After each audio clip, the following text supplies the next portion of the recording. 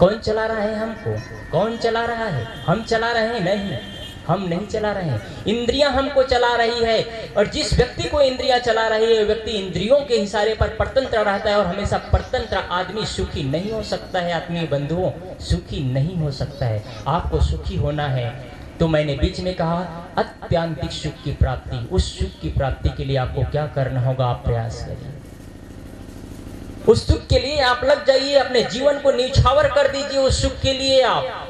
आप बाहरी सुख के लिए दौड़ते हैं, हम बाहरी प्राणी और पदार्थों के लिए दौड़ते हैं। काश अपने जीवन का, काश अपने जीवन का हम 24 घंटे में दो घंटे अपने लिए निकाल लेते तो हम परम उपलब्धि को प्राप्त हो जाते। हैं दो घंटे अपने लिए निकाल लेते तो परम उपलब्धि को प्राप्त हो जाते। हैं कोई नहीं निकालते हैं अपने लिए जीवन को।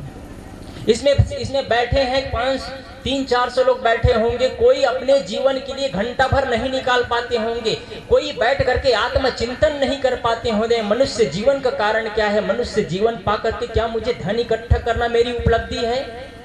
क्या परिवार बढ़ाना मेरी उपलब्धि है? क्या बैंक बैलेंस करना मेरी उपलब्धि है? गाड़ी, बंगला खरीदना मेरी उपलब्धि है? क्या इसीलिए मेरा पैदा हुआ है? क्या इसीलिए मैं पैदा हुआ है? गुरुजी ने एक संत को पूछा, एक भक्त को पूछा, खाते क्यों हो? कमाते क्यों हो? तो उन्होंने कहा, साहेब जी, कमाते इसलिए खाने के लिए। खाते क्यों है? जीने के लिए। फिर पूछते हैं, जीते क्यों हो? कोई पता नहीं है कोई पता नहीं है। जीते क्यों हो? कोई पता नहीं है। जियो आत्म कल्याण के लिए। जियो आत्म कल्याण के लिए, पैसा के लिए मत जियो, लड़ाई के लिए मत जियो, परिवार के लिए मत जियो, अपने लिए जियो, आप अपने आत्म कल्याण के लिए जियो। जीवन में संयम की बहुत ही ज़रूरत है। बिना संयम के आप विकास नहीं कर सकते हैं, आप ध्यान रखिएगा इन चीज़ों को। बिना संयम के आप विकास नहीं कर सकते हैं। संयम बहुत ज़रूरी है। फ्रांस के प्रधान सेनापति नेपोलियन बोनापार्ट का आप नाम सुने होंगे। नेपोलियन बोनापार्ट जिस समय पढ़ाई कर रहे थे, स्कूली पढ़ाई कर रहे थे, जब पढ़ाई कर रहे थे तो एक किराए के मकान में रहता था नेपोलियन बोनापार्ट। किराए के मकान में रहता था, उस मकान मालिक एक लड़की थी, जो जब भी नेपोलियन बोनापार्ट अपने कमरे में होते तो वो लड़की आती और उनके सामने नाच नौटंकी करती, उनको रिझाने का प्रयास करते, लेकिन नेपोलियन बोनापार्ट जब भी वो लड़की आती तो नेपोलियन बोनापार्ट तब पढ़ता रहता या लिखता रहता या भोजन बनाता रहता या कपड़ा धोता रहता। एक मिनट भी उस लड़की को टाइम नहीं दिया नेपोलियन बोनापार्ट। एक मिनट भी उस लड़की को टाइम नहीं देता है। जब नेपोलियन बोनापार्ट पढ़ाई के दौरान पढ़ाई कर लिया, पढ़ाई करने के बाद में फ्रांस का प्रधान सेनापति बनता है। फ्रांस का प्रधान सेनापति। जब फ्रांस का प्रधान सेनापति बनता है तो फ्रांस का प्रधान सेनापति बनने के बाद में अपने घुड़ सवार होकर के उसी जिस मकान पर रहता था, उधर ही चला गया वो। उधर ही चला गया। और जिस घर में रहता था, उधर ही जाता है। वो बहन को देख करके पहचान लेता है, फ्रांस का प्रधान सेनापति नेपोलियन बोनापार्ट उसके साथ में और कई लोग गए हैं। नेपोलियन बोनापार्ट उस बहन से पूछता है, बहन क्या यहाँ कोई कोई कोई नेपोलियन बोनापार्ट नाम का कोई व्यक्ति रहता था, आप जानते हैं? वो लड़की कहती है हाँ उसको अच्छी तरह से जानता हूँ। उनका जीवन के बारे में मत पूछो संगीत विहीन जीवन है, रसहीन जीवन है, बस पुस्तकों की कीड़ा है वो। उसके बारे में खुद भी मत पूछो। नेपोलियन बोनापार्ट अंदर अंदर मुस्कुरा रहा है, अंदर अंदर मुस्कुरा रहा है। इतनी में नेपोलियन बोनापार्ट कहता है, बहन, जिसके बारे में आप बोल रहे हैं, जिसके बारे में आप बोल रहे हैं, वो फ्रांस का प्रधान सेनापति मैं हूँ नेपोलियन बोनापार्ट। यदि तुम्हारे चंगुल में मैं फंस जाता तो आज फ्रांस का प्रधान सेनापति नहीं बनता, बल्कि मैं एक साधारण सा सिपाही होता, साधारण सा सिपाही होता। स्टूडेंटों से, भाइयों से निवेदन है, अपने पढ़ाई जीवन में, अपने टाइम को, अपने वक्त को बर्बाद होने मत दीजिए। बर्बाद मत। टाइम के बारे में याद आई तो मैं कहूँ, यदि अपने जीवन का आप एक मिनट बर्बाद करते हैं, अपने समय एक मिनट बर्बाद करते हैं मतलब अपने ज़िंदगी का, अपने ज़िंदगी का एक मिनट बर्बाद करते हैं, अपने जीवन का एक मिनट बर्बाद करते हैं, कितना समय मूल्य है। उस बर्बाद हुआ वक्त को अरबों रुपया दे करके भी आप वापस नहीं ला सकते हैं उस समय को आप, वापस नहीं ला सकते हैं आप। यदि आपने किसी के साथ में एक घंटा विवाद किया मतलब आपके जीवन का एक घंटा बर्बाद हो गया, एक घंटा बर्बाद हुआ। एक घंटे बैठ करके निंदा चुगली किए मतलब आपके जीवन का एक घंटा बर्बाद हो गया। इसलिए माताओं से निवेदन है, भाइयों से निवेदन है, चौपाटी में बैठकर, घर के बाहर बैठकर, किसी की निंदा चुगली करके अपने जीवन को बर्बाद मत करिए आप। अपने जीवन के बेसकीमती जीवन को तबाह होने मत दीजिए। सुंदर परिवार बनाइए सुंदर घर बनाइए। घर में घर में स्वर्ग का सिंहासन लगाइए आप। प्रेम की ज़िंदगी जिए आनंद का ज़िंदगी जिए बादशाहत का ज़िंदगी जिए। किसी के सामने नाक नग, नाक मत रगड़ते रहिए। भगवान के भरोसे मत बैठे रहिए आप। आपके पास वीरता है, आपने परिवार बसाया है, आपका परिवार है, आपके बच्चे हैं, आपके पास ताकत है, हर्ष है। एक बादशाह की ज़िंदगी जिए, भगवान के भरोसे मत बैठे रहिए। जो भगवान को मानते हैं, उनके लिए मैं क्षमा चाहता हूँ। भगवान इस दुनिया में है, लेकिन मैं रीजनल भगवान को मानता हूँ। रीजनल भगवान को। आज पूरे भारत देश, पूरे विश्व कोरोना महामारी में तबाही में मच रहा था तो सारे भगवान के दरवाजे बंद पड़े थे। कौन सा भगवान का आमा था आपको पता है? भगवान के भरोसे बैठे रहते तो पूरा भारत का पूरा विश्व शमशान घाट नज़र आता। पूरे विश्व शमशान घाट नज़र आता भगवान के भरोसे बैठे रहते, लेकिन असली भगवान ने काम किया। वही डॉक्टरों ने, वही नर्सों ने आ करके इंजेक्शन लगाया, टीका लगाया, इलाज किया। तब आज हम सब ज़िंदा है, नहीं तो लाश पड़ी होती हमारी। हमारे लाशे से गुजरना होता लोगों को। असली भगवान को आप पहचानिए। असली भगवान। को मनुष्य है तो संयम ज़रूरी है। मैं पुनः अपने विषय पर आई हूँ, मैं कुछ बात करता जाऊँगा, पुनः संयम की बात कर रहा हूँ मैं। संयम बहुत ही ज़रूरी है। इसी तरह मैंने कहा नेपोलियन बोनापार्ट ने संयम की परिभाषा करके एक प्रधान के सेना, प्रधान सेनापति बन गए। इसलिए मैं भाइयों से निवेदन करता हूँ बच्चों से निवेदन करता हूँ स्टूडेंटों से निवेदन करता हूँ अपने जीवन को तबाह हो, होने मत जाए। आजकल की आबो हवा एक लड़की लड़का से मिलते हैं प्यार करते हैं ज़िंदगी को तबाह करते हैं प्यार नहीं करते हैं ज़िंदगी को तबाह करते हैं। क्या आपके माँ बाप आपके शादी नहीं करेंगे? क्या आपके माँ बाप आपके शादी नहीं करेंगे, आपके लिए घर नहीं बनाएँगे? अपनी ज़िंदगी को क्यों तबाह करते हैं आप सब? अपने जीवन के मूल्य समझिए। आप किसी के साथ में प्यार नहीं करते हैं, मोह करते हैं। प्यार तो सबसे करना चाहिए। प्रेम तो सबसे करना चाहिए। आप मोह करके जीवन को तबाह कर देते हैं। मोह करके जीवन को तबाह कर देते हैं। कितनी खुशनसीब माँ बाप होते हैं जो आपको पढ़ाते हैं, लिखाते हैं, योग्य बनाते हैं। बड़ी तमन्ना होती है। मेरे माँ, मेरे बच्चे पढ़े लिखे अच्छे पोस्ट पर जाए, बहुत ही तमन्ना होती है। और आप क्या कर डालते हैं? क्या कर डालते हैं? आप अपने माँ बाप के सामने सर झुक सर झुका करके रहते हैं, सर उठा नहीं सकते हैं। और इतना ही नहीं, अपना ही सर नहीं झुकाते हैं, बल्कि पूरे परिवार का सर झुका देते हैं, पूरे परिवार का सर झुका देते हैं। शर्मिंदगा, शर्मंदी की जीवन जीते हैं आपके माँ बाप आपकी वजह से, आपकी वजह से। इसीलिए अपने बच्चों को संस्कार, इसलिए मैं कहता हूँ, बच्चों को आप, बच्चों को आप सत्संग में लाइए। आइए, मैं पुनः अपनी बात पर आऊँ। संयम संयम ज़रूरी है। उतना ही खाए जितना हमारा पेट पचा सके, अधिक खाने की ज़रूरत नहीं है। वही चीज़ खाए जिससे हमारा स्वास्थ्य अच्छा रहे। खाने पीने से, मैं कल भी कहा था, खाने पीने से ही हमारा जीवन का शुरुआत होता है। ज़्यादा तड़क भड़क की चीज़ खाते हैं तो हमारा विचार, हमारे मनो मस्तिष्क में वैसे तड़क भड़क के विचार आएँगे, इसलिए सात्विक भोजन हो। मैं पहले ही दिन कह चुका था, अंडा, मांस, मछली, शराब गुटका तंबाकू, ये सारे चीज़ मत खाइए, मत पीजिए। शराब ना पीना बंधु, पागल फिरोगे बाज़ार में। याद रखना। शराब पी करके अपने ही परिवार वाले आपके माँ बाप आपके बच्चे आपसे ही प्यार करना छोड़ देंगे। संयम की ज़रूरत है। संयम की बात आई तो मैं कहूँ, आप जानवर नहीं है, इंसान है। मैं बात सीधी कहता हूँ, कड़वी लगेगी तो आप ध्यान दीजिएगा, लेकिन विचार करिएगा मेरी बातों को। गाय को मांस दे दो आप। गाय को मांस दे दो, क्यों ना गाय मर जाएगी, लेकिन मांस नहीं खाएगी।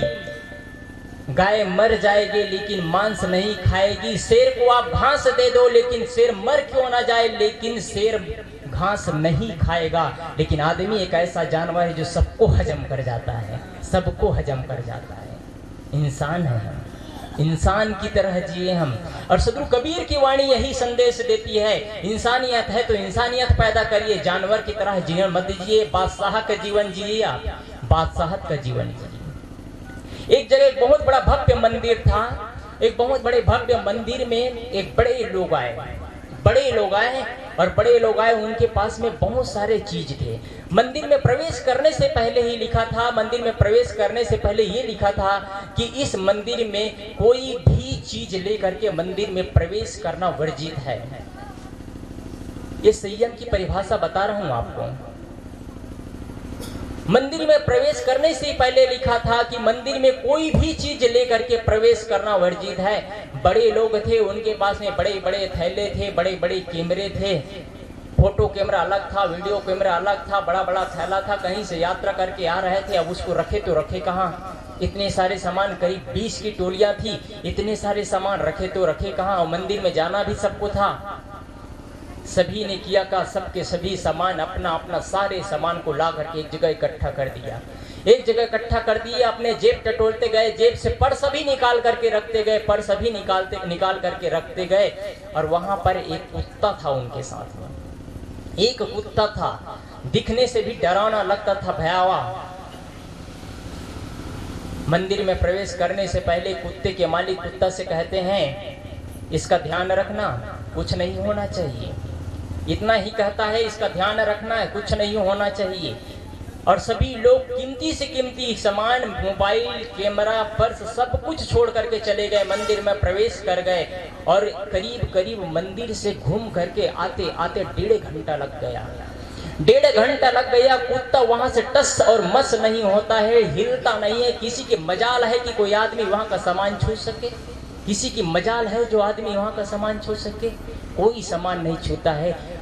देखिए जीव जंतु में इतना डिसिप्लिन है, इतना संयम है। आदमी अपने इशारे पे पूरी दुनिया को नचाती है अपने इशारे पर, लेकिन अपने आप से खुद परतंत्र बना है। बीड़ी और सिगरेट के लिए भीख माँगता है, नाक रगड़ता है। भगवान नौकरी दे दो, अरे कर्म करो। कर्म से आदमी महान बनता है, कर्म से आदमी वीर बनता है। कर्मों की पूजा करो, क्यों नाक रगड़ते हो? क्यों ये सब दुनिया में पड़े रहते हैं आदमी? डेढ़ घंटा लग जाता है मंदिर से आने के बाद देखते हैं सामान जैसा का तैसा पड़ा रहता है। देखिए, कुत्ता में इतना डिसिप्लिन है। कुत्ता में इतनी डिसिप्लिन है। जब सर्कस दिखाता है सर्कस दिखाने वाले तो खूंखार जानवर को अपने इशारे में नचाता है। शेर को कहता है, आदमी को और बैठ जाओ। शेर उसके ऊपर बैठ जाता है। आप देखे होंगे सर्कस कुछ लोग। शेर उसके ऊपर बैठ जाता है। खूंखार जानवर खूंखार जानवर को अपने जो मांस खाता है, उसको भी अपने इशारे पर नचाता है। उसको भी अपने इशारे पर नचाता है। शेर कुछ नहीं करता है, उठ जाओ कहते हैं, उठ जाता है। शेर, चीता, भालू सबको अपने इशारे पर नचाता है। और आदमी खुद अपने इशारे पर नहीं नचाता है। एक जगह एक मंदिर, एक बच्चे के यहाँ एक संत गए, और एक संत गए तो एक बच्चा ने कहा, महाराज जी, मैं खेल देखाऊ? तो कहते हैं, देखाओ। तो एक खिलौना लाया था। एक खिलौना लाया था तो खेल दिखा, बच्चा कहता है, महाराज जी, आप गो कहो तो चल पड़ेगा, कम कहो तो रुक जाएगा, वहीं पर आ जाएगा आपके पास वापिस। तो कहते हैं, बोलो। महाराज जी बोलते हैं, गो। उनका खिलौना चल पड़ता है, उनका खिलौना चढ़ पाता है, कम कहते हैं, वापिस आ जाता है, वहीं पर रुक जाता है। काश ऐसे ही हमारी इंद्रियाँ होती, गो कहते, चल पड़ता, रुकने स्टाफ कहते, रुक जाता, काश ऐसे ही इंद्रियाँ होती तो कितना अच्छा होता, लेकिन ऐसा नहीं है। लेकिन इससे अच्छा है कि हम जो चाहे वो सोच सकते हैं, जैसा चाहे हम जी सकते हैं, उससे अच्छा है। लेकिन जो कमज़ोर होते हैं, जो बुजदिल लोग होते हैं, जो कायर लोग होते हैं, वो दूसरों के इशारे पर नसते हैं, अपने आप को परतंत्र साबित करते हैं। बादशाहत का जीवन नहीं जीते हैं। संयम बहुत ज़रूरी है। संयम की परिभाषा देखिए आप। संयम की परिभाषा बहुत ही ज़रूरी है। बिना संयम के आप विकास नहीं कर सकते हैं। महात्मा गांधी महात्मा गांधी संयम की परिभाषा दिखाते थे। महात्मा गांधी जब उनकी पत्नी कस्तूरबा बाई को उनका ब्लड प्रेशर बढ़ गया था। डॉक्टर ने कहा उनको कि तुमको नमक नहीं खाना है। नमक नहीं खाना है, कस्तूरबा बाई को लगता था, क्या सीठा सीठा खाए? नमक कैसे नहीं खाऊं? वो बिचारी करती क्या थी? चुपके से नमक खा लेती थी। एक दिन महात्मा गांधी उनके खाते हुए भोजन को छीन करके चखा, तुम नमक खाती हो? तो महात्मा गांधी ने कहा, अब तुम नमक खाओ या ना खाओ, कोई बात नहीं, मैं छह महीना के लिए नमक को टच भी नहीं करूँगा। कस्तूरबा बाई नाक रगड़ती है, नाक रगड़ती है, आप क्यों नहीं खाओगे? मैं तो आप खाओ, मैं छोड़ दूँगी, छोड़ दी तो महात्मा गांधी कहते हैं, आखिर तुम मेरी पत्नी हो अर्धांगनी हो, मैं खाऊं और तुम नहीं खाओ तो क्या मतलब होता है? इसलिए अच्छा मैं छोड़ देता हूँ। ये महात्मा गांधी का संयम है। महात्मा गांधी बादाम खाते थे तो बादाम खाते थे तो छह बादाम भिंगाना था। तो उनके साथ में छह के साथ में आठ दस बादाम भंगाते थे तो महात्मा गांधी कहे, छह बादाम भिंगाया करो। दूसरे दिन उनके साथी ने फिर आठ बादाम भिंगाया। तो महात्मा गांधी कहे, मैं छह ही बादाम खाऊँगा, आठ नहीं खा सकता। तुम खा लेना, तुमको खाना है तो। ये संयम की परिभाषा है। आत्मी बंधुओं बिना संयम के आप विकास नहीं कर सकते हैं। कथावाचक मंच पर बैठे रहते हैं, कथा कर रहे हैं, भागवत कर रहे हैं, पान खा रहे हैं, गलगला रहे हैं, थूक रहे हैं, कथा भी कर रहे हैं। साधु बने हैं, गंजा का दम लगा रहे हैं, सिबड़ी और सिगरेट धुक रहे हैं, साधु भी बने हुए हैं। क्या ऐसे लोग समाज का विकास कर सकते हैं? मैं क्षमा चाहूँगा अगर किसी को कड़वी लग रही है बात, लेकिन आप विचार करिए। इसलिए मैं कहता हूँ, अच्छे संतों से जुड़े, अच्छे लोगों को बुलाइए, जो आपको अपने आप से मुलाकात कराए। ये ये कहना चाहिए, जीवन सुधार का केंद्र है सत्संगी जीवन परिवर्तन केंद्र कहा जाता है सत्संग को। जीवन परिवर्तन केंद्र। आप अपने इंद्रियों को अपने इशारे पढ़ना चाहिए, अपनी इंद्रियों पर। अपनी इंद्रियों पर, अपनी, अपने इशारे पर अपनी इंद्रियों को ना चाहिए। एक बुढ़िया माँ बुढ़िया माँ की अवस्था लगभग 80 वर्ष की अवस्था थी। उन्होंने सुना था कि गंगा मैया में स्नान करने मात्र से मुक्ति मिल जाती है। उनके मन में एक तमन्ना रही कि मैं भी गंगा स्नान कर लूँ, मैं भी गंगा स्नान कर लूँ। मन में एक तमन्ना बुढ़िया माँ धीरे धीरे घर से निकलती है। धीरे धीरे चलते चलते चलते चलते गंगा में पहुँच जाती है। गंगा स्नान करती है। गंगा स्नान तो कर ली है चलते चलते आई है। थक गई है, अस्सी वर्ष की अवस्था है। अब कैसे चला नहीं जा रहा है। बुढ़िया माँ जैसे ही स्नान करके निकलती है तो बगल में एक ऊँट बैठा हुआ था। ऊँट बैठा हुआ था, बुढ़िया माँ उस ऊँट पर बैठ जाती है और ऊँट खड़ा हो जाता है, ऊँट चलना शुरू कर देता है। ऊँट चलना शुरू कर देता है। लोग पूछते हैं, बुढ़िया माँ, किधर जा रही हो? बुढ़िया माँ कहती हैं, बेटा, मुझे पता नहीं है, मेरे पास में नखेल तो है नहीं, ऊँट जिधर ले जाए, उधर ही मैं चले जा रही हूँ, मेरे पास नखेल नहीं है। ये एक बुढ़िया माँ की कहानी नहीं है ये हम सब की कहानी है ये हम सब की कहानी है। नखेल नहीं है, इंद्रियों में संयम नहीं है, इंद्रियों में लगाम नहीं है तो इंद्रियाँ ऊँट की तरह हमको जिधर ले जाएँगे, उधर ही हम भटकते भटकते चले जाएँगे और जीवन तबाह हो जाएगा, जीवन तबाह हो जाएगा। संयम होना चाहिए, लगाम होना चाहिए। अपने इशारे पढ़ना चाहिए यदि आप संयम की परिभाषा पढ़ लेते हैं, संयम जीवन जीते हैं तो आपसे आदर्श लेंगे, परिवार के लोग वो संयम का पाठ सीखेंगे, संयम का पाठ सीखेंगे। भगवान श्री कृष्ण जब महाभारत युद्ध चल रहा था तो महाभारत युद्ध चल रहा था तो भगवान कृष्ण अपने घोड़े को, अपने घोड़ों के लिए चारा की व्यवस्था खुद करता था। इतने में द्रौपदी कहती है, भैया, हमारे यहाँ इतने नौकर चाकर हैं, इतने लोग हैं, आप भला ये सब काम कौन करते हैं? तो भगवान कृष्ण कहते हैं, घोड़े पर सवार मैं हूँ और उसका व्यवस्था कोई दूसरा करे, क्या मैं नहीं कर सकता हूँ? मैं कर सकता हूँ, मेरा घोड़ा है, मेरे इशारों पर नाचता है। भगवान कृष्ण कहते हैं, मेरे इशारों पर नाचता है, मेरा घोड़ा है, मेरे सही, मेरे हिसाब से चलता है। मैं जहाँ बैठने कहता हूँ, वहाँ बैठ जाता है, जहाँ उठने कहता हूँ, उठ जाता है, जहाँ कूदने कहता हूँ, कूद करके चढ़ना शुरू कर देता है। भगवान कृष्ण इशारों पर नचाते थे अपने घोड़े को। कभू, कभी भी भगवान कृष्ण ने घोड़े पर चाबुक नहीं लगाया है। पूरे युद्ध के दौरान कभी भगवान कृष्ण ने चाबुक नहीं लगाया घोड़े पर। याद रखिएगा। आप कितना ही चाबुक मारते रहे, अगर संयम नहीं रहे तो जीवन में चाबुक मारते मारते थक जाएँगे, रहेंगे जहाँ के तहा हम सब रहेंगे जहाँ के तहा भगवान कृष्ण युद्ध के युद्ध युद्ध चल रहा है। घोड़े को इशारा करता था, इशारा करता था, हाथ का इशारा देता था, घोड़ा बैठ जाता था, घोड़ा बैठ जाता था। कर्ण ने जब बाण छोड़ा कर्ण ने बाण छोड़ा तो किसको? युधिष्ठिर को लगने वाला था, अर्जुन अर्जुन को लगने वाला था।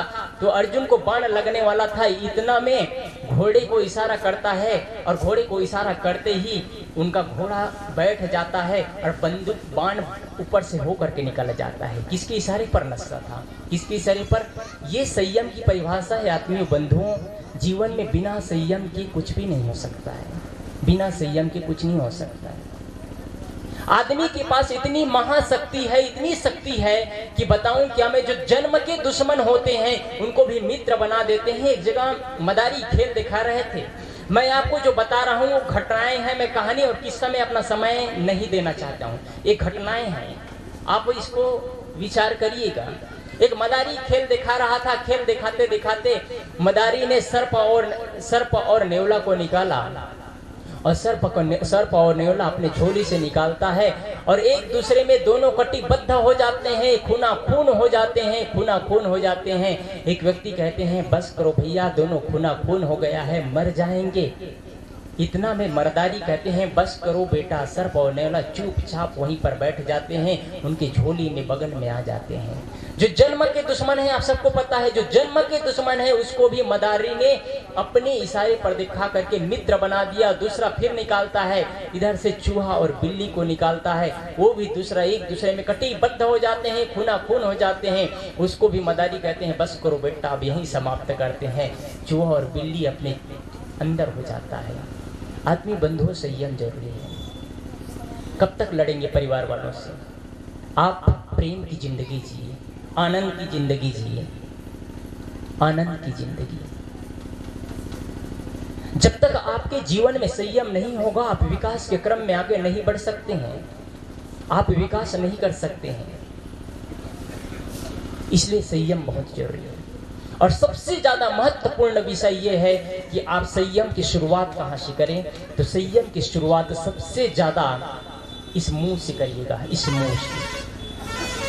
याद रखिए, हमारे आँख दो है, आँख दो है, लेकिन कान सिर्फ़ एक है, आँख से हम सिर्फ़ देखते हैं, नाक दो है, सिर्फ़ नाक से हम सुनते हैं, कान दो है, सिर्फ़ कान से सिर्फ़ हम सुनते हैं, लेकिन जीव एक है, और इस जीव से एक मुलायम सा जीव है, जिसमें हड्डियाँ भी नहीं है। जिसमें हड्डियाँ भी नहीं है, मुलायम सा जीव है। इसका तीन तीन काम है, सावधानी से उपयोग करना, नहीं तो ये जीव कहीं के कहीं ले जा करके तबाह कर देगी, जीवन को और बर्बाद कर देगा।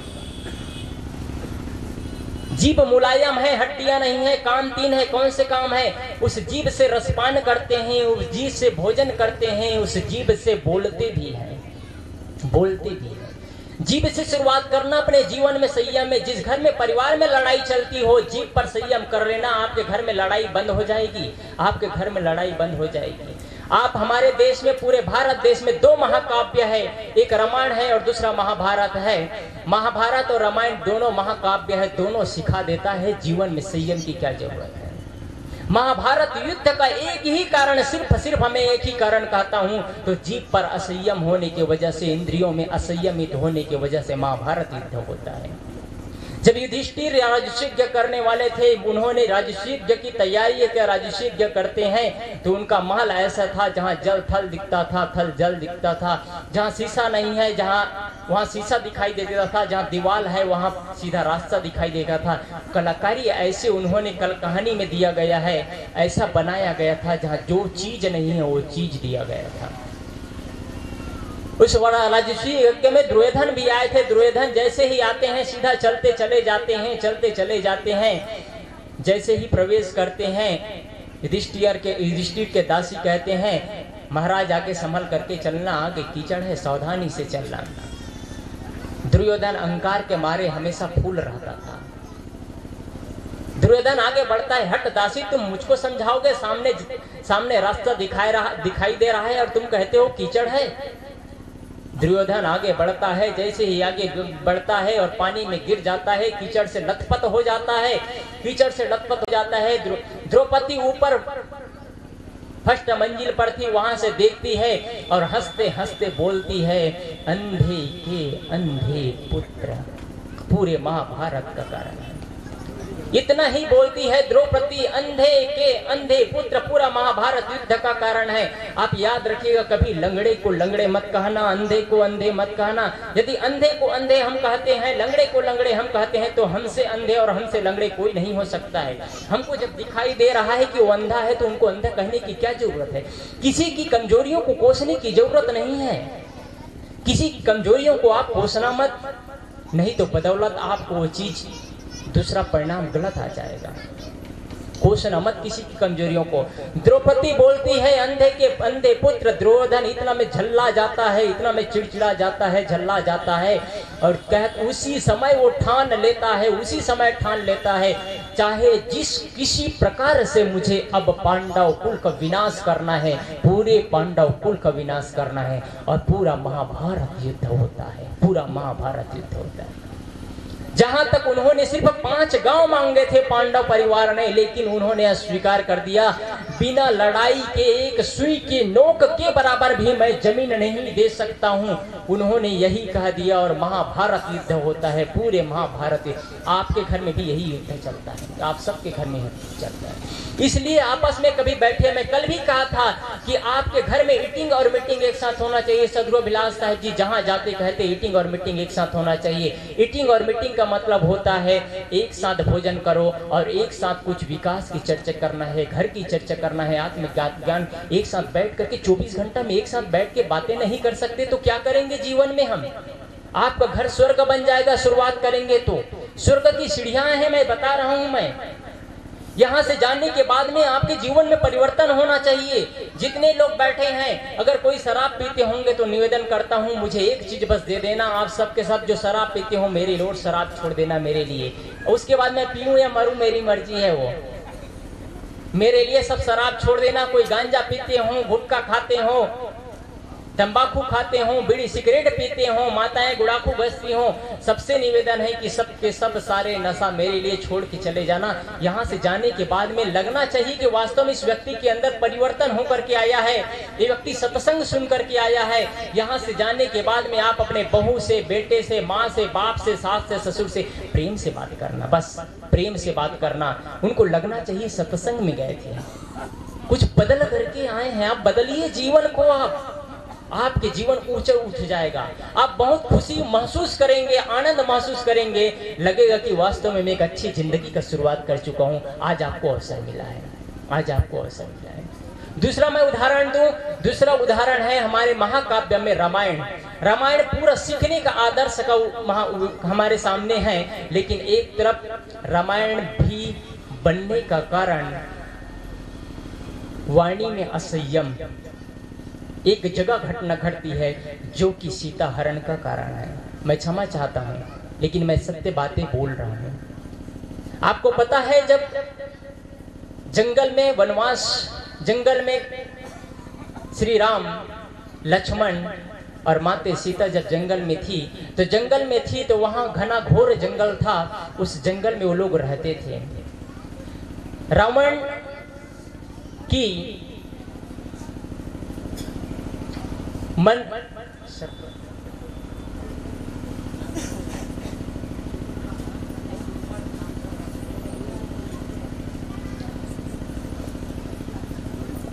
जब श्री राम और लक्ष्मण के बारे में सूर्पणखना सुनती है कि वहाँ एक सुंदर युवक आवा है, युवक आया है, उनके बारे में सुनने के बाद में उनका मन चल पड़ता है और वहाँ आ जाती है वो। और आ जाती है और लक्ष्मण को कहती है कि तुम मेरे साथ में शादी कर लो, मैं तुम्हारे साथ में रह जाऊँगी। उनको देख करके बोलती है, नहीं मानने पर में लक्ष्मण नाक काट देता है। लक्ष्मण नाक काट देता है। नाक काटने के बाद में श्री राम ना काटने के बाद में फिर होता क्या है? ये बातें श्री, सारी बातें जा करके अपने भैया को, रावण को बताते हैं कि वहाँ एक सुंदर रूपवती लड़की आई है, उनके साथ में दो पुरुष है, उनके बारे में सुनने के बाद में रावण अपने आप को नहीं रोक पाता है। रावण अपने आप को नहीं रोक पाता है और उनका कारण दो हो गया, बदला लेने का भी कारण हो जाता है। मैं अपने मूल चीज़ में आऊँगे तो कारण क्या होता है, कैसे होता है, इन्होंने शब्दों में संयम नहीं रखा, उसका परिणाम क्या होता है? जब रावण मारिच को भेजता है, रावण रावण मारिच को भेजता है, उनको कहता है, तुमको स्वर्ण मृग बन करके जाना है, और जैसे तुमको बाण लगे, वो पूरे घटना बता देता है, तुम श्री राम के आवाज़, राम के आवाज़ में पुकारना लक्ष्मण लक्ष्मण। तो पूरे घटना घटती है। होता क्या है? मारिच जंगल में आता है, जंगल में आता है, और स्वर्ण मृग देखता है। श्री राम स्वर्ण मृग देख करके, सीता स्वर्ण मृग देखती है और कहती है, मुझे हिरण चाहिए, और हिरण चाहिए। श्री राम कहते हैं, लक्ष्मण से, हे लक्ष्मण लक्ष्मण तुम्हारी भाभी को यह यह हिरण पसंद है। लक्ष्मण इतने में कहते हैं, भैया, घना घोर जंगल है, स्वर्ण का मृग होता है, होता ही नहीं है, ये राक्षसों से घिरा हुआ जंगल है, कहीं न कहीं जालसाज है, आप इससे सावधान रहिएगा। श्री राम जी कहते हैं, चाहे जो भी हो, तुम्हारे भाभी को पसंद है या ज़िंदा या मुर्दा चाहिए। और श्री राम उसके पीछे चले जाता है। उसके पीछे चला जाता है, जैसे ही श्री राम मारिच को बाण मारता है और श्री राम की आवाज़ में लक्ष्मण लक्ष्मण पुकारता है। मारिच, लक्ष्मण लक्ष्मण पुकारता है। इतना में माता सीता घबरा जाती है और माता सीता घबरा जाती है और लक्ष्मण को कहती है, तुम्हारे भैया विपत्ति में है, तुम चले जाओ। लक्ष्मण जी कहते हैं, मेरे भैया को कोई विपत्ति नहीं हो सकता है, उनको कुछ भी नहीं हो सकता है। आप मत डरो, बहुत कहती है, चले जाओ चले जाओ। नहीं जाती है, तब कटुक वचन माता सीता बोलना शुरू करती है। माता सीता क्या बोलती है?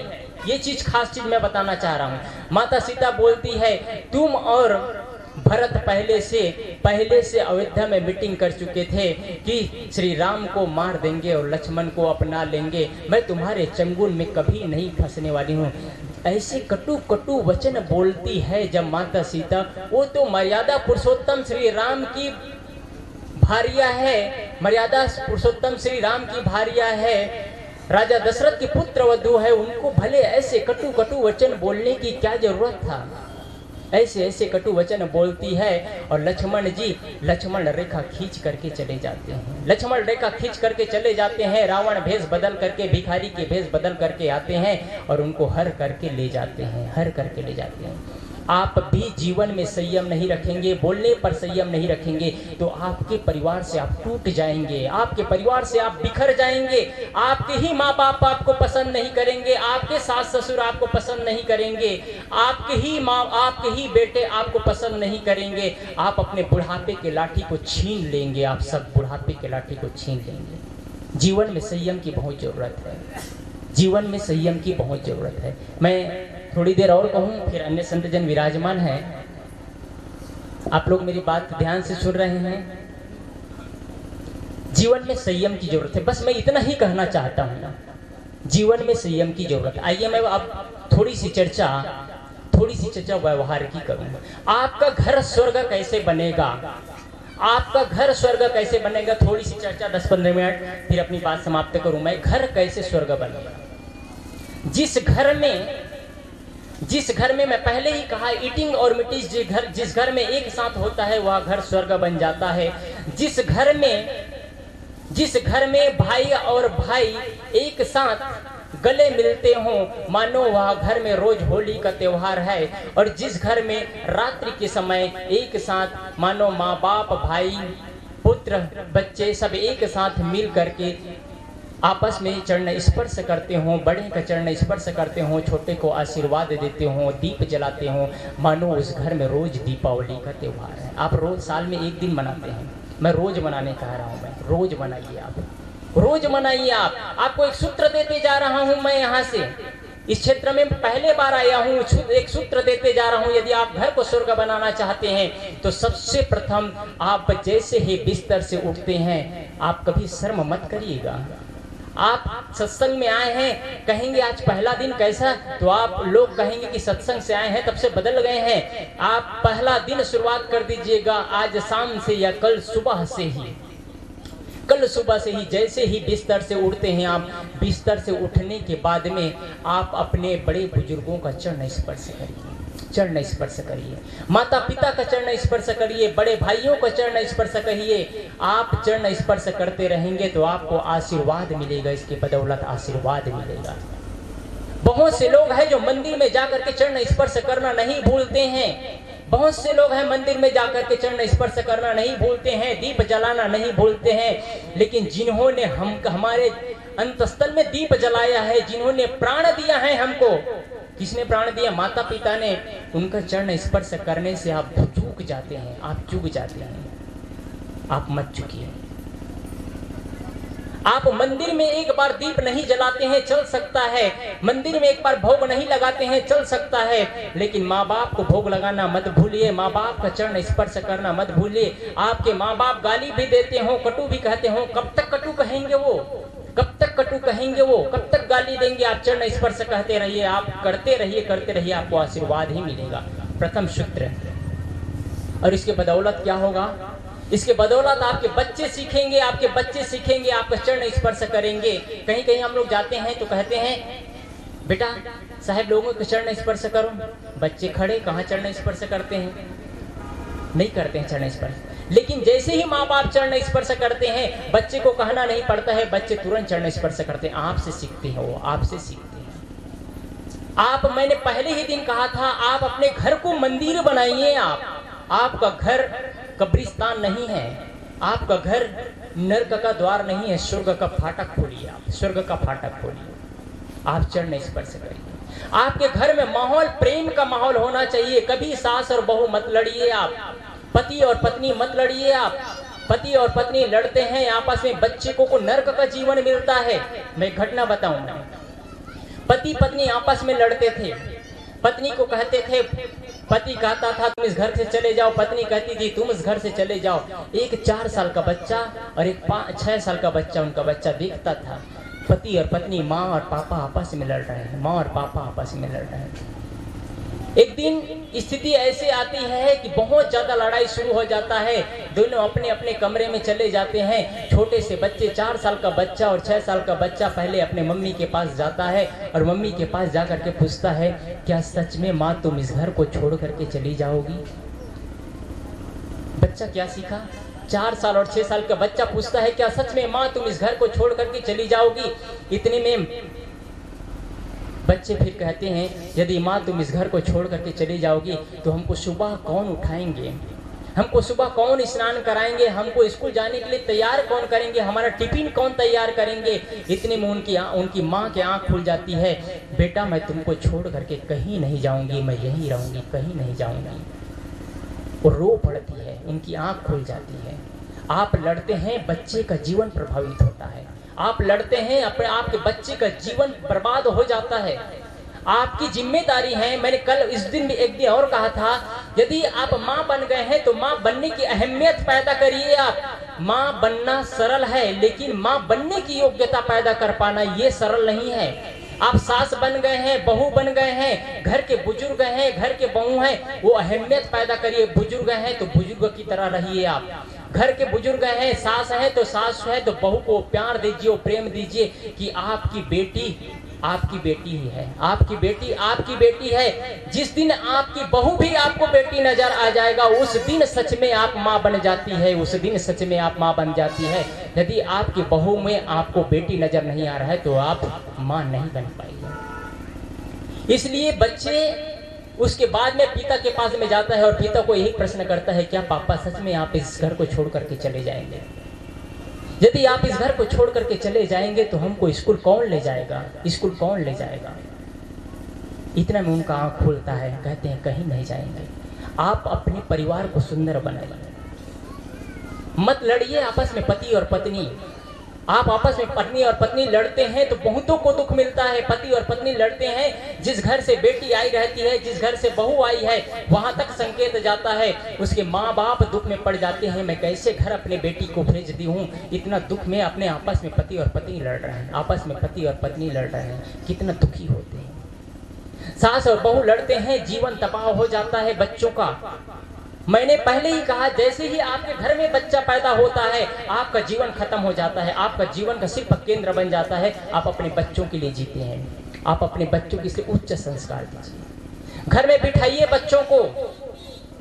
24 घंटा आप उनको पैसा कमाना सिखाते हैं, पढ़ाई लिखाई सिखाते हैं। कभी घर में बिठाइए, बच्चों को पाँच मिनट, दस मिनट रोज बिठाइए और प्रेम की परिभाषा सिखाइए। बड़ों को कैसे सम्मान देना है, अतिथि को कैसे सम्मान देना है, संत गुरुजनों को कैसे आदर देना है, ये चीज़ सिखाइए और जीवन का उद्देश्य क्या है, ये चीज़ बताइए उनको। जीवन का उद्देश्य याद रखना, बेटा को अपने समझाइएगा। जीवन का उद्देश्य, बेटा, पैसा कमाना नहीं है। जीवन का उद्देश्य बेटा महल ठोकना नहीं है, परिवार बढ़ाना नहीं है। जीवन का उद्देश्य बेटा यही है कि आपस में प्रेम की ज़िंदगी जी लेना, प्रेम की ज़िंदगी जी लेना, ये जीवन का उद्देश्य है। सास और बहू ऐसे ही एक जगह लड़ रहे थे। सास और बहू लड़ रहे थे, एक दिन, दो दिन, तीन दिन, चार दिन में लड़ाई होती ही थी। लड़ाई होती थी एक दिन ऐसे लड़ाई हुई कि सास और बहू में लड़ाई होने के बाद में सासू माँ रोते रोते कमरे में चली गई। सासू माँ रोते रोते कमरे में चली जाती है और कमरे में रो रही है। इतने में उनका छो, छोटा सा पोता चार साल का पोता जाता है उनके कमरे में। चार साल का पोता जाता है और चार साल का पोता कमरे में जाता है और अपने दादी माँ का पल्लू उठाता है और पल्लू उठा करके अपने दादी माँ का आँसू पोछता है। और दादी माँ को कहता है दादी तुम रो मत। देखिए महत्वपूर्ण बात है। दादी तुम रो मत। जब मैं भी बड़ा हो जाऊँगा ना, और मैं भी बड़ा हो जाऊँगा, और मेरी जब शादी होगी, और मेरी शादी होगी तो मैं अपने पत्नी को कहूँगा, तुम अपनी सासू माँ की कभी सेवा मत करना, वो बहुत दुष्टा है, क्योंकि वो अपनी सासू माँ से बहुत लड़ती थी। क्या मिला आपको? जीवन तबाह हो जाएगा। मत लड़ो आप अपने परिवार से। प्रेम करो आप। प्रेम करो। प्रेम करो, सासू माँ से प्रेम करो, आप सासू माँ से प्रेम करोगे तो आप भी सासू माँ बनेंगे, आपको भी वही प्रेम मिलेगा। प्रेम की बात आई तो एक, मेरे पास में एक और घटना है, मैं बताऊँ। एक बुढ़िया माँ, अस्सी साल की अवस्था, अस्सी साल की अवस्था, चमड़ी इतना मुलायम सा हो गया था, यदि ज़ोर से पकड़ दिया जाए, ज़ोर से हाथ पकड़ा जाए तो चमड़ी छिल सकता था, इतना मुलायम हो चुका था चमड़ी, इतना जर्जरता की अवस्था आ गई थी। अस्सी साल की अवस्था, इतनी जर्जरता की अवस्था आ गई थी। उनको एक बेटी, एक बहू बड़े प्यार से नहला रही थी, बड़े प्यार से नहला रही थी। माताओं के लिए खास बातें कह रहा हूँ मैं, बड़े प्यार से नहला रही थी। इतना में एक संत उधर से उधर से गुजरता है गुजरते गुजरते पूछता है, बेटी, क्या तुम्हारी माँ है ये? क्या तुम्हारी प्रथम पूछते हैं, क्या तुम्हारे ये सासू माँ है? बड़े प्यार से नहला रहे हो? इतने में वो बेटी कहती है, बहू कहती है, नहीं संत भगवान, मेरी सासू माँ नहीं है। तो सासू माँ माँ नहीं तो क्या तुम्हारी माँ है? इतना प्यार से स्नान करा रही हो तो इतने में वो कहते हैं, नहीं संत भगवान, माँ नहीं है, माँ से बढ़ कर के है। इस दुनिया से, इस दुनिया में माँ से बढ़ करके और कुछ नहीं हो सकता है। वो कहते हैं, माँ से बढ़ करके इतने में संत पूछते हैं, माँ से बढ़ करके बेटी और क्या हो सकता है? माँ से बढ़ करके पवित्र रिश्ता तो इस दुनिया में कुछ नहीं है। इतने में बेटी बोलती है, महाराज जी, जिसके बदौलत मैं इस घर में टिका हूँ, जिसके बदौलत मेरा सुहाग है, जिसके बदौलत मेरे मस्तक में बिंदिया लगी हुई है, जिसके बदौलत मैं सिंदूर भरा हुआ हूँ, जिसके कोख में मेरा पति पला है, वो ये माँ है, जिसके कोख में मेरा पति पला है, जिसके कोख में मेरे सुहाग पला है, वो ये माँ है महात्मन जिसके कोख में मेरे सुहाग पला है। क्या इतना प्यार आप अपने बहू से करते हैं? आप इतना प्यार अपने बहू से करेंगे तो आपका घर स्वर्ग बन जाएगा। मैं अपने साथ घटा घटना घटा बता घटना घटी वो बता रहा हूँ। आज से करीब एक साल पहले मैं इलाहाबाद से रायपुर स्टेशन आया। रायपुर स्टेशन आने के बाद में एक जगह निवास था मेरा। वहाँ कुकिंग सेंटर है, केक कैसे बनाया जाता है, टीचिंग पढ़ाई होती है। वहाँ पर एक जैन जैन लड़की आती थी, बहू है। वो और पढ़ाई करती थी, फोर व्हीलर से आती थी। मैंने पूछा, आप ये कुकी सेंटर में आप सीखने क्यों आते हैं? क्या आप स्टॉल लगाएँगे कि कुकीज सेंटर खोलेंगे? क्या करेंगे आप? मैंने पूछा, महाराज जी, मुझे सब की शौक नहीं है कहे मैं कहा, आप क्यों करते हैं? मुझे, मैं अपना टाइम वक्ता नहीं, गुजर नहीं रहा है। मेरा टाइम निकल नहीं रहा है। मैं उलझनों में उलझा हुआ हूँ। जो मेरे टाइम पास का साधन था, वो गुजर गया। मेरे पास टाइम पास का साधन नहीं है, इसलिए मैं केक बनाने आता हूँ। मैं कहा टाइम पास का साधन क्या था? वो कहते हैं, मेरा टाइम पास का साधन था, मेरी माँ थी। मेरी माँ थी। वो कहते हैं, मेरी माँ थी। मेरी माँ मतलब मेरी सासू माँ थी। मैंने जिसके साथ में करीब करीब 20 साल गुजारा, वो कहती है, जिसके सामने मैंने 20 साल गुजार दी, और 20 साल गुजारने के बाद उनका नाम शांति माता थी। उनका नाम जैसे ही उनका जीवन था। महाराज जी, मेरा 20 साल मानो 20 दिन की तरह निकल गया। मेरा 20 साल 20 दिन की तरह निकल गया, लेकिन अब मेरा 20 दिन मुझे 20 साल से भी अधिक अधिक लग रहा है। मेरा एक पल पल मेरा जीवन जीना मुश्किल हो चुका है। मेरी माँ थी, वो मुझे आज तक कटु वचन नहीं बोली, कड़ा वचन नहीं बोली। इनके साथ मैंने गुजारा है। मैंने माँ से बढ़ कर के माँ पाया था। आप अपने परिवार को सुंदर बनाइए। मत कोसिए अपने माँ बाप को, कोसिए मत अपने माँ बाप का पालन पालन पोषण करिए, अपने माँ बाप को प्यार से रखिए। जिन्होंने आपको अपने कोख में रखा, अपने स्तनपान कराया, साहेब जी ने कहा, अपने कष्ट सह करके आपको पढ़ाई लिखाई कराया आपको योग्य बनाया मत कोसिए आप। भगवान की पूजा मत करिए, क्षम्य हो सकता है, लेकिन माँ बाप की पूजा करना मत भूलिए आप। माँ बाप को सम्मान देना मत भूलिए आप। यदि आप यह चीज़ करना भूल जाते हैं तो आपको वही चीज़ लौट करके मिलता है, वही चीज़ लौट करके मिलता है। एक बच्चा एक बच्चा जिसका दादाजी था, उनके दादाजी था, जो कि उनके उनके पिताजी उनको एक झोपड़ी में रखा हुआ था। एक झोपड़ी में रखा हुआ था, उनके लिए भोजन ले जाता, मिट्टी के बर्तनों में भोजन ले जाता, और मिट्टी के बर्तनों में भोजन ले जाता और भोजन कराता अपने पिता को, उसके नौकर ले जाता। उनका छोटा सा बच्चा देखता था। वो हुआ क्या? छोटा सा बच्चा करता क्या था? मिट्टी का बर्तन जिससे भोजन करा रहा है उस मिट्टी के बर्तन को इकट्ठा करके धो धो करके रखता था। धो धो करके रखता था। एक दिन उसकी माँ को पता चल जाता है कि मेरी बच, मेरे बच्चा अपने दादा का जूठा बर्तन को धो धो करके रखता है। बच्चा का पूछता है बच्चे को पूछता है बेटा तुम ऐसा क्यों करते हो? वो कहते हैं माँ आज आपके पास में करोड़ों का मकान है, करोड़ रुपया है, आपके पास पैसा है, द्रम धन द्रव्य है, आप रोज मिट्टी के बर्तन फेंकते चले जा रहे हैं फेंकते चले जा रहे हैं। क्या पता एक दिन ऐसी स्थिति आई? एक दिन ऐसी स्थिति आई कि मैं जब मैं भी मेरी आपकी अवस्था होगी, आप बुढ़ापे हो जाएँगे, आप बुढ़े हो जाएँगे, बुढ़िया हो जाएँगी तो मेरे पास में उतना पैसा नहीं रहा तो ये मिट्टी के बर्तन में आपको भोजन दिया करूँगा। उनकी आँखें खुल जाती है। माँ बाप को हम किस तरह से बे बेकदर कर रहे हैं? माँ बाप को किस तरह बेदर, बेकदर कर रहे हैं? वो अपने झोपड़ी से महल में ला करके स्वागत करता है। आप मत करिए। माँ बाप से कोशिए मत आप। एक बच्चा मंदिर देखा माँ बाप से पूछता था, पापा, ये मंदिर किस लिए? कहीं, गरीबों के लिए होता है, अनाथों के लिए होता है। जिनको कुछ नहीं मिलता है, वहाँ जाकर के भोजन कर लिया करते हैं। तो पापा को पूछते हैं, पापा, क्या ये मंदिर आपका है? नहीं बच्चा, नहीं बेटा, ये मंदिर मेरा नहीं है, मंदिर दूसरे का है। एक दिन माँ बाप को और बच्चे को मंदिर एक जगह पार्टी में जाना था। एक जगह फ़ंक्शन था, पार्टी में जाना था, रात्रि का ग्यारह बारह बजे आना था उनको। तो अपने माँ, अपने बच्चे के साथ में, अपने पत्नी के साथ में पार्टी में जाने की तैयारियाँ कर लिए हैं। तैयारियाँ कर ली, इतने में माँ बाप को कहते हैं, मम्मी, पापा, आप मंदिर में चले जाना, वहाँ भोजन करके आ जाना।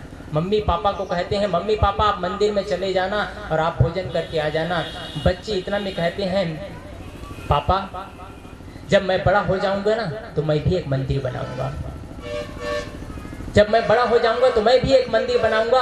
जब आप लोग बुढ़े हो जाएँगे तो आप दोनों को उस मंदिर में भेज दिया करूँगा। आप दूसरे के मंदिर में भेजते हैं, मैं खुद का मंदिर बनाऊँगा, उस मंदिर में भेजूँगा। आप लोग वहीं भोजन करना, क्योंकि हम लोग व्यस्त रहेंगे व्यस्त रहेंगे। देखिए, बच्चे को क्या प्रभाव पड़ता है? ज़िंदगी को तबाह मत करिए आप अपने। ज़िंदगी को तबाह मत करिए। बहुत सुंदर जीवन मिला है, प्रेम से जिए, भगवान के भरोसे मत बैठे रहिए। संयम की परिभाषा मैंने पहले कहा, अपने घर को स्वर्ग बनाइए आप, घर को स्वर्ग बनाइए। बच्चों को सीख दीजिए, बच्चों को संस्कार दीजिए, अपने बच्चे को टाइम दीजिए, परिवार को टाइम दीजिए, आप पूरे समय को, पूरे समय को जीवन के 90 प्रतिशत शक्ति 90 प्रतिशत समय को आप धन कमाने में लगा देते हैं। कभी अपने परिवार के लिए टाइम लगाइए।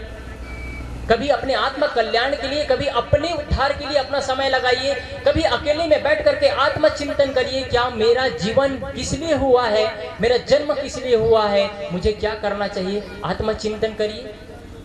बोलिए सदगुरु देव की जय। बच्चे शांत रहेंगे। आप अपना टाइम सही जगह लगाइए। अपना सही जगह, अपना समय लगाइए आप। एक कहानी कहूँ, एक घटना, उसके बाद में अपने बात समाप्त करूँ। एक जगह बच्चा अपने पापा से मिल नहीं पाता था। पापा से मिल नहीं पाता था, देखता था, पापा हमेशा व्यस्त हैं व्यस्त हैं। एक दिन हुआ क्या? उनके पास में इकट्ठा करते करते करते करते पचास रुपये इकट्ठा हो गया था। पचास रुपये इकट्ठा हो गया था। उनको पता था मेरे पास कुछ पैसा है, उनके पास में मिट्टी का बर्तन था, उसमें पैसा डालता जाता था, इकट्ठा कर रहा था। एक दिन अपने पापा से कहता है, पापा, मुझे पचास रुपये दोगे क्या? अपने पापा से पूछता है। तो कहते हैं, तुम पैसों को क्या करोगे? डांट देता है। फिर वह बच्चा दौड़ करके फिर जाता है।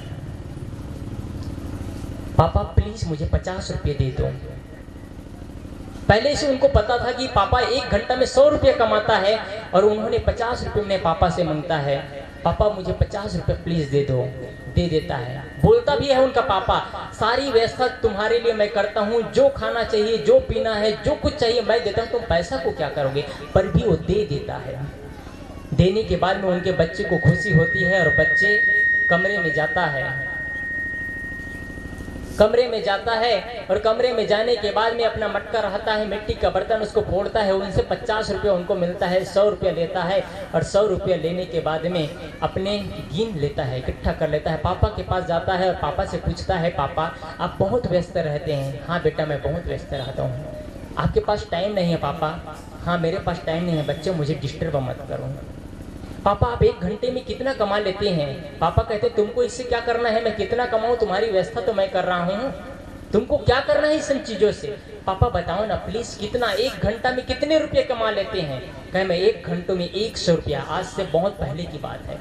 एक घंटे में एक सौ रुपया कमाता हूँ उनको बड़ा गर्व था, एक घंटे में एक सौ रुपया कमाता हूँ। वो करता क्या है? पापा से पूछ करके जाने के बाद में थोड़ा देर अपने बिस्तर पर जाता है और पूरा पैसा लेकर के आता है और पापा को सौ रुपया देता है। सौ रुपया देता है। पापा, आज आप लोग हम, आज आप हमारे साथ दोपहर का लंच एक साथ करेंगे। मैं आपका एक घंटा खरीदना चाहता हूँ मैं। मैं आपका एक घंटा खरीदना चाहता हूँ और अपने पापा को पैसा देता है। पापा सर मसे नीचे कर देता है सर। अपने बच्चे के लिए जिन्होंने जिन्होंने अपने बच्चे को जन्म दिया है, उनके लिए एक घंटा का टाइम नहीं है। पैसा पैसा पैसा पैसा बनाने की फैक्ट्री बना लिया जीवन को। आपका जीवन इतना बेसकीमती है। सुंदर जीवन का निर्माण करिए आप लोग। सुंदर जीवन का निर्माण करिए। बहुत सुंदर जीवन है, बहुत अच्छा जीवन है। मैंने एक चित्र पहले बताया कि आप सभी लोग महसूस करूँगा कि अच्छा जीवन जी रहा है। यहाँ से जाने के बाद लोग, यहाँ से जाने के बाद सभी के सभी आसान से या कल सुबह से चरण स्पर्श करना शुरू कर दीजिए। उसके बदौलत आपके बच्चे वो चीज़ सीखेंगे। और दूसरी चीज़ है कि ऐसे ही विचारों को जोड़ने के लिए आप लोग संत महात्माओं को बुलाइए। कथा कहानी किस्सा में अपना टाइम बर्बाद मत करिए। आप जीवन की सीख जिससे मिले, वो चीज़ें, वो बातें आप लोग करें। कथा कहानी में अपना वक्त बर्बाद मत करें जो जीवन का उद्धार नहीं किया है, वो दूसरे का उद्धार नहीं कर सकता है। जिनके मैं पहले ही कहा, जो पान खाता है, मुँह गलगला रहा है, रंगीला मुँह है, वो लोग क्या उद्धार करेंगे अपना? इसलिए ऐसे संतों को बुलाइए। हमारे छत्तीसगढ़ में अभी रहना होता है। छत्तीसगढ़ में कहीं बर्थडे पार्टी में बुलाते हैं, कभी जन्मदिन में बुला रहे हैं तो कभी मृत्यु में बुला रहे हैं तो कभी गृह प्रवेश में बुला रहे हैं तो कभी बहुए आती हैं, उनके आशीर्वाद के लिए बुलाते हैं संतों को।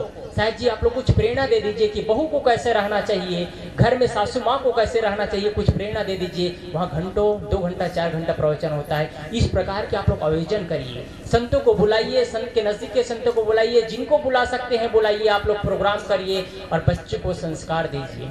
और उन लोगों से बचिएगा, जो लोग आप किसी को बुलाते हैं और पैसा का डिमांड करते हैं कि इतना पैसा लगेगा, उन लोगों से सावधान रहिए वो धार्मिक व्यक्ति नहीं हो सकते हैं। मैंने काफ़ी देर तक आप लोगों के बीच में बहुत सारी बात कही। और बातें तो ऐसी है कि खत्म नहीं होती है, चलती चली जाती है। कबीर का विचार ऐसा है, जैसे साखे पर साखे निकलते चले जाते हैं, निकलते चले जाते हैं, ऐसे ही विचार का स्रोत आता चला जाता है। ऐसे ही आप चिंतन करेंगे तो सारे विचार आपके अंदर आएगा। आपका जीवन इसीलिए आप चिंतन करिए, आत्मचिंतन। एक महान व्यक्ति बनना है आप सबको। एक योद्धा बनना है, अपने साथ लड़ाई करना है, अपने बुराइयों के साथ लड़ाई करना है और संयम की परिभाषा के साथ घर को स्वर्ग बनाइए, घर को प्रेममय बनाइए। बोलिए सदगुरु देव की जय। बहुत बढ़िया समझाया। और शायद मुझे तो ऐसे लगते है कि बड़े संतन जो लगते कि मैं जो कुछ कहूँ तो इस पबलक तक पहुँचे।